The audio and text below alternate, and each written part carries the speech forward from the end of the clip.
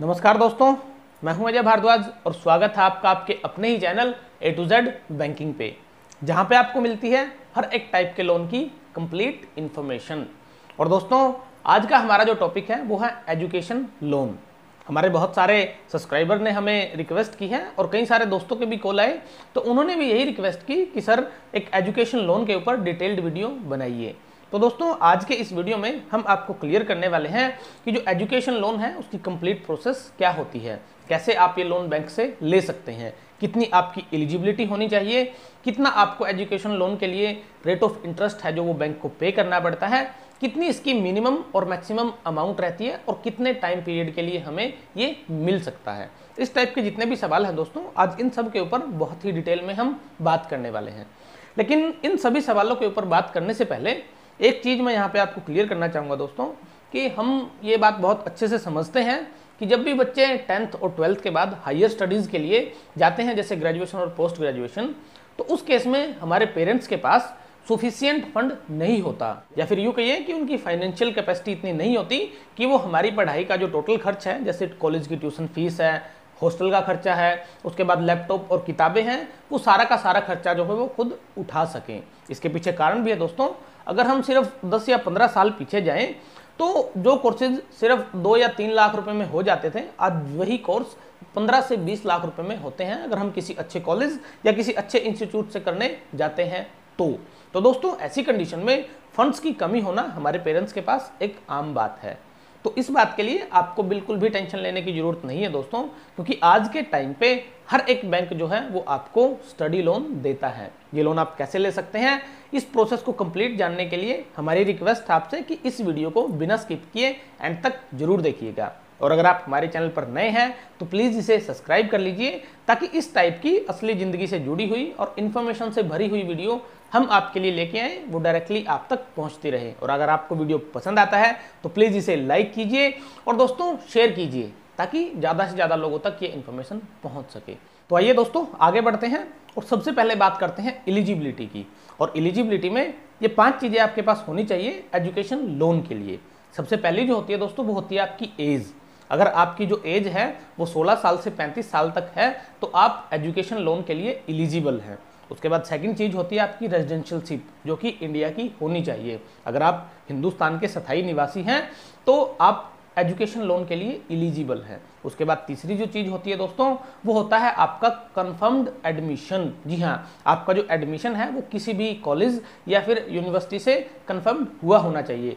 उसका आपके पास या तो एडमिशन लेटर होना चाहिए, या फिर जो है वो आपके कॉलेज या यूनिवर्सिटी का प्रोस्पेक्टस होना चाहिए, जिससे कंफर्म हो सके कि आपका जो एडमिशन है, वहाँ पे कंफर्म हो चुका है। और जो आपकी यूनिवर्सिटी है, वो रिकोगनाइज होनी चाहिए यूजीसी या फिर ए गवर्नमेंट से। और दोस्तों, यही सेम कंडीशन अप्लाई होती है फॉरन के लिए। अगर आप फॉरन में, यानी देश से बाहर अगर पढ़ाई करना चाहते हैं तो वहाँ का भी सेम आपके पास कंफर्म्ड एडमिशन लेटर जो है वो होना चाहिए।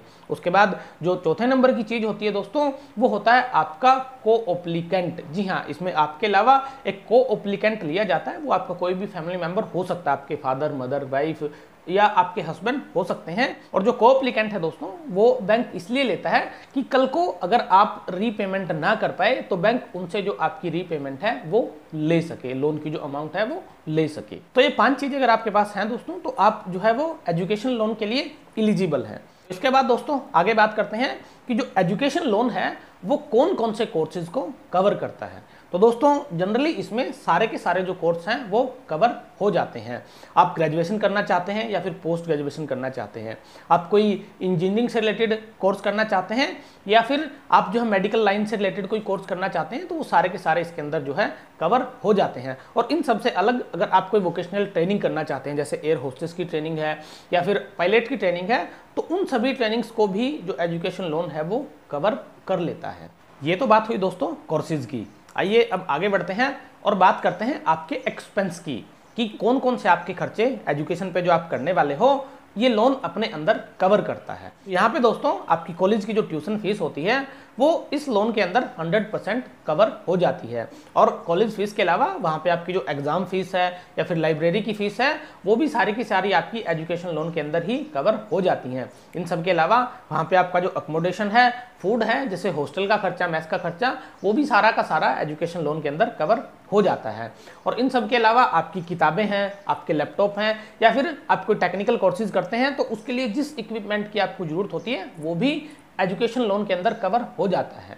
और दोस्तों, इन सबसे अलग अगर आप कहीं बाहर विदेश में पढ़ाई करते हैं तो आपका जो ट्रैवलिंग एक्सपेंस होता है, वो भी एजुकेशन लोन के अंदर बड़ी ही आसानी से कवर हो जाता है।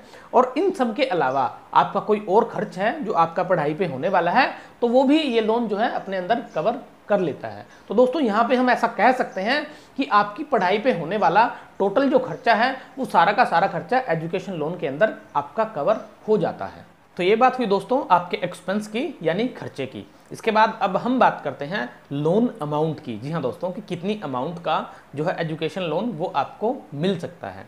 तो दोस्तों, अगर आप इंडिया के अंदर पढ़ाई करना चाहते हैं तो 15 लाख तक का लोन आपको मिल सकता है। और अगर आप इंडिया से बाहर विदेश में पढ़ाई करना चाहते हैं तो उस केस में आपको 75 लाख तक का जो एजुकेशन लोन है वो बैंक से मिल सकता है। जी हाँ दोस्तों 75 लाख तक का लोन आपको बैंक से मिल सकता है। कुछ पीएसयू बैंक हैं जो आपको 20 या 25 लाख तक का ही लोन देते हैं, लेकिन बहुत सारे ऐसे प्राइवेट बैंक भी हैं जो आपको पचहत्तर लाख तक का एजुकेशन लोन बड़ी आसानी से दे देते हैं। दोस्तों अमाउंट के बाद अब हम बात करते हैं सिक्योरिटी की। कि लोन के अगेंस्ट में क्या क्या सिक्योरिटी जो है बैंक आपसे लेता है। दोस्तों, अगर आप चार लाख तक का लोन लेते हैं तो यहाँ पे आपको किसी भी टाइप की कोई सिक्योरिटी बैंक को नहीं देनी होती। ये कह सकते हैं कि ये अनसिक्योर्ड लोन होता है, लेकिन इस केस में भी आपको एक को अप्लीकेंट देना होता है, आपके पेरेंट्स को। बैंक जो है वो को अप्लीकेंट के रूप में लेता है। और दोस्तों, अगर आप चार लाख से साढ़े सात लाख रुपए तक का एजुकेशन लोन बैंक से लेते हैं तो उस केस में को ओप्लीकेंट के साथ एक थर्ड पार्टी गारंटर भी कई सारे बैंक जो है वो मांग लेते हैं। उसमें आपके कोई भी रिलेटिव हो सकते हैं जो आपके बिहाव पे गारंटी दे सकें कि कल को अगर आप वो लोन नहीं पे करेंगे तो वो आपकी जगह पे उस लोन को पे कर सकते हैं। इसके बाद दोस्तों, अगर आप साढ़े सात लाख रुपए से ज़्यादा का लोन लेते हैं तो उस केस में बैंक आपसे एक कोलेट्रल सिक्योरिटी माँगता है। मतलब कि आपको लोन के अगेंस्ट में आपकी कोई प्रॉपर्टी देनी पड़ेगी, आपकी कोई एफडी है जो वो बैंक के पास गिरवी रखनी पड़ेगी या फिर आपकी कोई लाइफ इंश्योरेंस पॉलिसी है, वो आपको देनी पड़ सकती है, या फिर आपकी कोई नॉन एग्रीकल्चर लैंड है जो वो बैंक को सिक्योरिटी के लिए देनी पड़ती है। सिक्योरिटी के बाद, अब हम बात करते हैं मोरेटेरियम पीरियड की।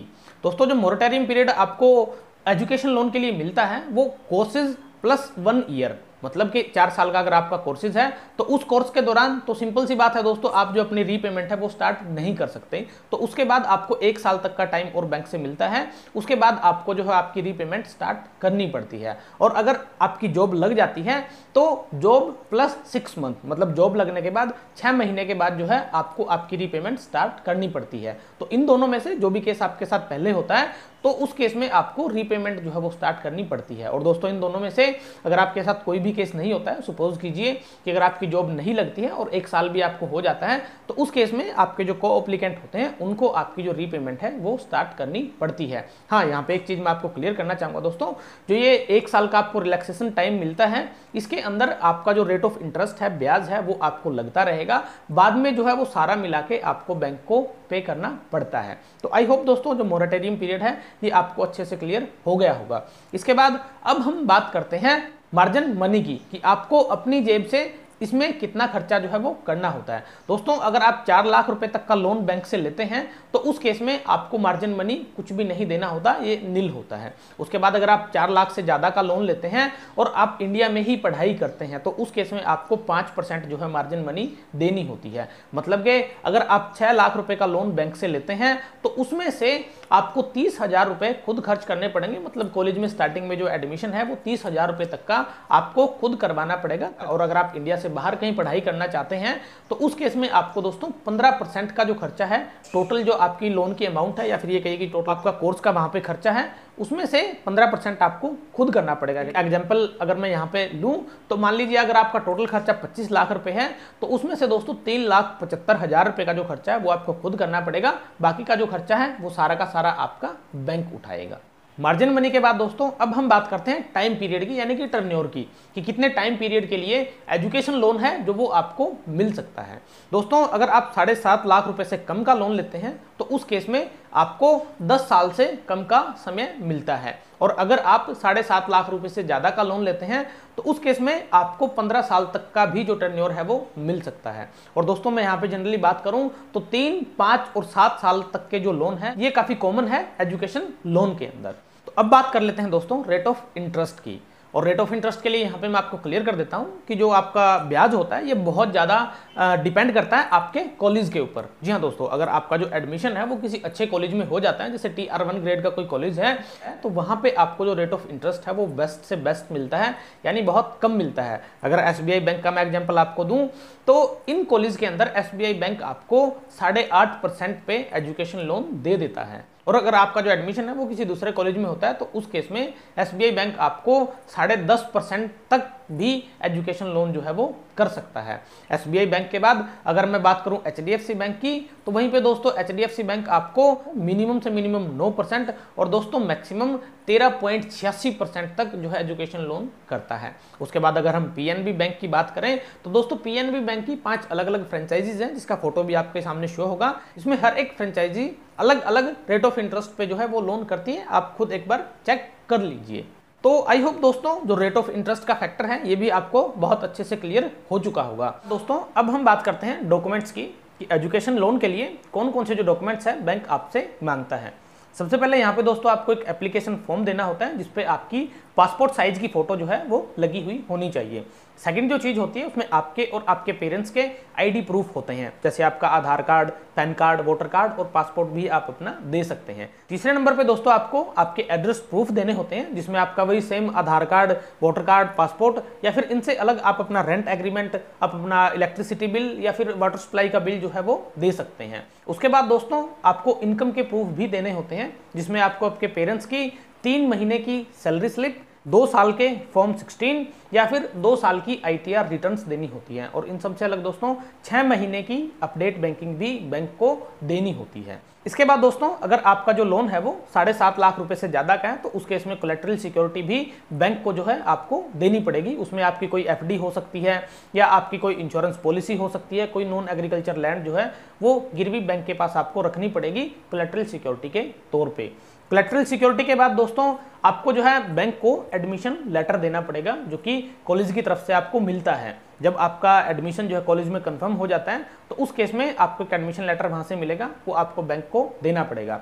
एडमिशन लेटर के साथ में आपको एक फ़ीस शेड्यूल भी देना होता है, जिसमें दोस्तों कॉलेज की कंप्लीट फ़ीस का शेड्यूल होता है कि किस टाइम पे कॉलेज कौन सी और कितनी फ़ीस जो है लेता है। इसमें अगर आप लेना चाहते हैं तो अपना फ़ूड और अकोमोडेशन यानी कि हॉस्टल और मेस का जो खर्चा है, वो भी ऐड करवा सकते हैं। इसके बाद दोस्तों, आपको एक मार्जिन मनी की रिसिप्ट भी देनी होती है, जो आपको पाँच परसेंट और पंद्रह परसेंट की मार्जिन मनी हमने बताई थी दोस्तों।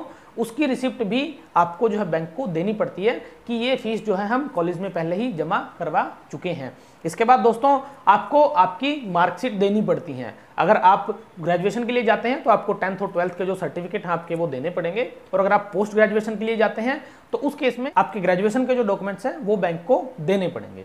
तो ये सारे डॉक्यूमेंट्स हैं दोस्तों, जो बैंक आपसे मांग सकता है आपके एजुकेशन लोन के लिए। और दोस्तों डॉक्यूमेंट्स के बाद अब हम बात करते हैं डिसबर्समेंट की, कि जो अमाउंट है वो आपको कैसे मिलती है। तो यहाँ पे हम आपको क्लियर कर देते हैं दोस्तों, इसमें जो टोटल आपका जो एजुकेशन लोन की अमाउंट होती है, वो सारी की सारी डायरेक्टली बैंक जो है वो कॉलेज के अकाउंट में देता है। इसमें आपके अकाउंट में एक भी पैसा नहीं जाता। और अगर आप कॉलेज की फ़ीस के अलावा बाहर से कुछ परचेज करते हैं, जैसे लैपटॉप परचेज करना है बुक्स परचेज करनी है, या कोई आपको अदर इक्विपमेंट परचेज करना है तो वो भी जो अमाउंट होगा वो डायरेक्टली बैंक वेंडर जो होगा आपका, उसके ही अकाउंट में पे करेगा, आपको इस केस में एक भी पैसा आपके अकाउंट में नहीं मिलता। अब यहाँ पे कुछ टिप्स मैं आपको दे देता हूँ कि एजुकेशन लोन और किसी भी कॉलेज में एडमिशन लेने से पहले किन किन चीज़ों को जो है आपको ध्यान में रखना चाहिए। सबसे पहले दोस्तों, आप जिस भी फ़ील्ड में जाना चाहते हैं, उसके ऊपर एक बार प्रॉपर रिसर्च करें और अपने कॉलेज के ऊपर प्रॉपर रिसर्च करें कि कॉलेज की जो जॉब प्लेसमेंट है वो कैसी है और जिस फ़ील्ड में आप जाना चाहते हैं, उस फ़ील्ड में स्कोप है वो कैसा है। कहीं ऐसा ना हो दोस्तों कि आप किसी गलत कॉलेज में एडमिशन ले लें, जहाँ से आपकी जॉब ना लगे। तो उस केस में दोस्तों, आपके पेरेंट्स के ऊपर एक फाइनेंशियली बहुत बड़ा बोझ आ जाएगा और आपके दिमाग में भी बहुत सारा जो टेंशन है, वो एजुकेशन लोन का आ सकता है। इसके बाद सेकंड चीज़ है दोस्तों, किसी भी बैंक में बात करने से पहले एक बार आप अपने कॉलेज से बात कीजिए, क्योंकि कॉलेज वाले ही खुद बैंक के साथ में टाइप करके रखते हैं। एजुकेशन लोन के लिए। और वो पहले ही दोस्तों जो रेट ऑफ़ इंटरेस्ट है, उसको नेगोशिएट कर लेते हैं। तो हो सकता है दोस्तों वहाँ पे आपको कम से कम जो है रेट ऑफ़ इंटरेस्ट वो मिल जाए। यही सारी चीज़ें जो है अप्लाई होती हैं फॉरेन यूनिवर्सिटीज़ के ऊपर भी। अगर आप देश से बाहर पढ़ना चाहते हैं तो वहाँ भी आप कॉलेज में यूनिवर्सिटी में पता कर सकते हैं, आपके पास जो फाइनेंशियल ऑप्शन क्या क्या है तो वो भी आपको बता देंगे। तो हो सकता है दोस्तों आपको अच्छी डील कॉलेज के अंदर ही मिल जाए, आपको बाहर कहीं पर ना जाना पड़े। और दोस्तों, इन सबसे अलग आपको एक बात और मैं यहाँ पे क्लियर करना चाहूँगा कि हमारी एक टीम है जो कि लोन के सेक्टर में काम करती है। हम हर एक सेक्टर में डील करते हैं दोस्तों। आप होम लोन लेना चाहते हैं LAP loan S M E B T top up जो भी आप लोन लेना चाहते हैं, हम आपको करवा के देते हैं। और अगर आप हमारे थ्रू लोन लेना चाहते हैं तो आपको भी यहाँ पे एक नंबर शो होगा। आप डायरेक्टली इस नंबर पर कॉल करके हमसे बात कर सकते हैं और बैंकिंग से रिलेटेड जितनी भी इन्फॉर्मेशन आप लेना चाहते हैं, वो भी ले सकते हैं। यहाँ पे हम आपको बेस्ट से बेस्ट सर्विस देने का वादा करते हैं। तो आज की इस वीडियो में दोस्तों, जितनी भी इन्फॉर्मेशन हमने आपको दी है एजुकेशन लोन को लेके आई होप वो सारी की सारी आपको क्लियर हो चुकी होगी। और अगर इसके बाद भी आपके माइंड में कोई डाउट या कोई क्वेरीज बसती हैं तो आप हमें कमेंट सेक्शन में कमेंट करके ज़रूर बताइएगा। हम उनके ऊपर भी अलग से वीडियो बनाएँगे। और दोस्तों, इसके अलावा आपके पास कोई और टॉपिक है जो आप हमें सजेस्ट करना चाहते हैं, वो भी आप हमें कमेंट सेक्शन में कमेंट करके ज़रूर बताइएगा। और आज का जो ये वीडियो है, आपको पसंद आया है तो इसे लाइक कीजिए और दोस्तों, ज़्यादा से ज़्यादा शेयर कीजिए, ताकि ज़्यादा से ज़्यादा लोगों तक ये इन्फॉर्मेशन पहुँच सके। और अगर आप हमारे चैनल पर नए हैं तो प्लीज़ इसे सब्सक्राइब कर लीजिए। और इस टाइप की इन्फॉर्मेशन से भरी हुई वीडियो सबसे पहले देखने के लिए बेल आइकन को भी ज़रूर प्रेस कर लीजिए। और दोस्तों, हमेशा की तरह खुश रहिए, सुरक्षित रहिए सीखते रहिए और कमाते रहिए। जय हिंद दोस्तों।